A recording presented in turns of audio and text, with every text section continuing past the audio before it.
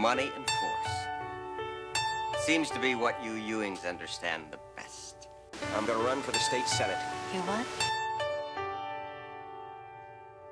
You can get in trouble.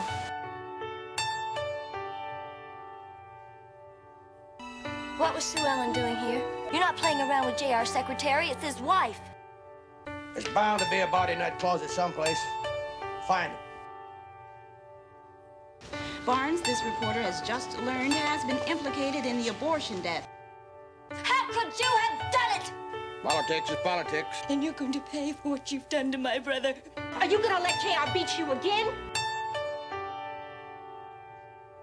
First my daddy and now Cliff. The Ewing Empire is built on deceit and downright theft. And he'd rather see Cliff dead than have the world find out how really rotten the Ewings are. What do you want me to do, Cliff? Now, I dislike JR just as much as you do. But I hate to think you'd get back at him this way. Well, you can't back out now. Oh, it's gonna be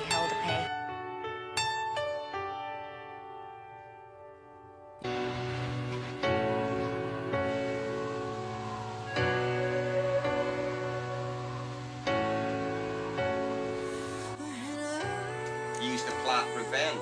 You marrying one is the best revenge. Isn't she pretty, Mama? She's also Cliff Barnes' sister and Digger Barnes' daughter. Did your brother put you up for this, Miss Barnes? Mrs. Ewing. I'm willing to spend some money now to avoid any inconvenience. When they don't want somebody, somebody ain't got a chance. Isn't there some part of you that doesn't trust me? It's the old Barnes and Ewing feud again, isn't it? Well, I love you, Pamela, and I want you back with me. But you gotta remember, I was a Ewing when you married me, and I'll be a Ewing till I die. You know, the Ewings destroy everything they get their hands on, and you're one of them now. Now, I've always been so sure that the Ewings were the bad guys. They're the ones who do anything to anyone. you pretend so well. You know, I've always thought you were just a little bit in. Fine. Let little sister take the rap. Never crossed my mind.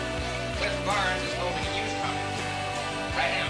It's a puzzle, Mama. I just don't know all the pieces, that's all. Bobby, I don't like what you're saying. Neither do I. There's a spy in the house.